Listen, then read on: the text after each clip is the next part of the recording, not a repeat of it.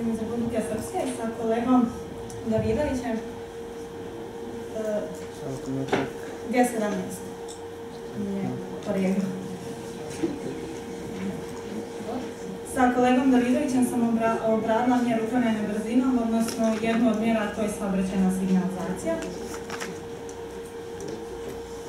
Znači, u sadržaju imamo uvod, analizu, znači u, to, u analizi imamo i metode istraživanja i kraju rezultate. Neki rezultati, znači prije svega da kažem da mi danas svi znamo da se saobraćajne nezgode nisu nešto što se dešava kao nesreća, kao to je, to ne može se mijenjati. Znamo da su one sve rezultat nekog nesistemskog rada, nekog vida grešaka, propusta, bilo da je reč o vozačima ili bilo kome drugome. Zbog toga imamo već na međunarodnom nivou veliki broj dokumenta koji govore o tome da se na e, samu bezbjednost saobraćaja može jako puno uticati, prije svega sa mjerama upravljanja brzinom, s obzirom da u velikom broju procenata brzina jeste osnovni razlog nastajanja saobraćajne nezgode, odnosno osnovni uzrok. E, kada je u pitanju te neke mjere upravljanja brzinom, znači to su e, mjere sa infrastrukturom saobraćajnice, informativne i pravne mjere, ATT sistem, policijske mjere. U ovom radu obrađena je znači, saobraćena signalizacija kao jedna od informativnih mjera. E, obrađena je e, dionica magistralnog puta M16 koja povezuje Gradišku, odnosno granični prelaz Gradišku koji prolazi kroz Banja Luku i povezuje Banja Luku sa Federacijom Bosne i Hercegovine.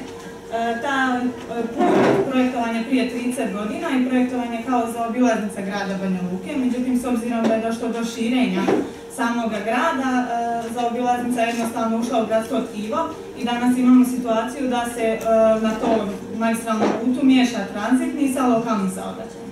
E sad, e, od znači, samog ulaska magistralnog puta u grad Banja Luku, što je kod Prijedarske petlje, do lokacije gdje smo mi vršili istraživanje, ima nekih 4,5 km. Na samom ulazu imamo znak ograničenja brzine na 60 km na sat.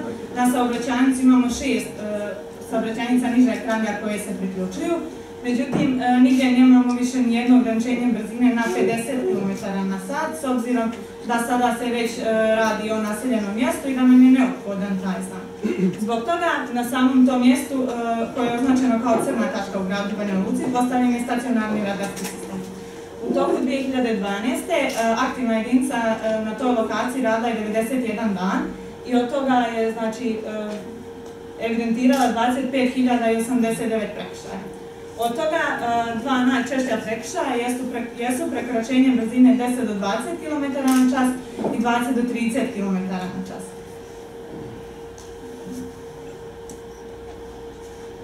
E, od ukupnog broja, znači e, ta dva prekršaja koji čine 11.647, ili 46,4% su oni vozači koji posjeduju inostrane tablice. Znači u gradu Banja Luci zbog toga jesmo obradili saobraćajnu signalizaciju s obzirom da smatramo da ukoliko je znak, da se postavi znak od 50 km na čas, došlo bi do znatnog smanjenja e, broja prekršaja kada je u pitanju od 10 do 20 km, jer svi oni stranci koji ne poznaju da se tu nalazi, da je tu postavljen stacionarni radarski sistem, koji ne poznaju da se radi Eh, ovog zakonskom ograničenju 50 km na čas za koji nemamo znak, eh, voze prema subjektivnom doživljaju i voze na osnovu ograničenja 60.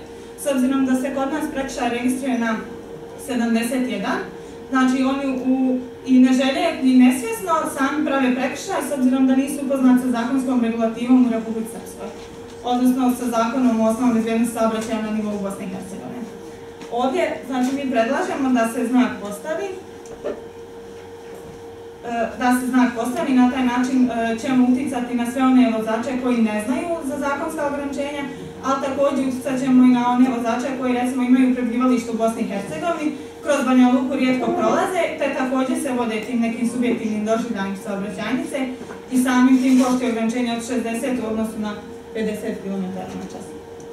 I, i e, znači da zaključim, međunarodni dokumenti svi kažu ne možemo uticati sa jednom mjerom na bezbjednost saobraćaja, neophodno je da radimo neku politiku, da, da vršimo sa više, s obzirom da mi ovdje imamo već stacionarni radarski sistem e, i on je recimo od 2010. u junu mjesec kada je postavljen, od tada na toj lokaciji nije bila više nijedna saobraćajna nezgoda sa smrtno stradalima, Međutim, sam broj prekršaja se ne smanjuje, u nekim dijelovima godine se čak i povećava, s obzirom da su građani već naučili da se on tu nalazi, te nekih 150 do 200 metara prije njega, smanjuju brzinu, nakon prolaska kraj stacionarnog radarskog sistema oni samo nastavljaju po starom. Zbog toga smatramo da jednostavno trebamo uticati više informativno na građane pored e, tih nekih represivnih mjera koje nam donosi stacionarni radarski sistem. Eto, toliko od mene.